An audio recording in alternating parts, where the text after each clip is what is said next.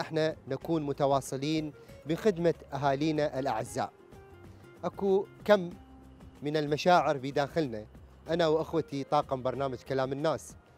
نضحك نبكي نتفائل ندرس شلون ممكن نسعد الباقين بالحلقات القادمة. كل هذه متواجدة بداخلنا. ولكن الخلاصة نحن اليوم بقمة السعادة. شفنا دعوات الناس ورضائهم وابتساماتهم ودموع الفرح.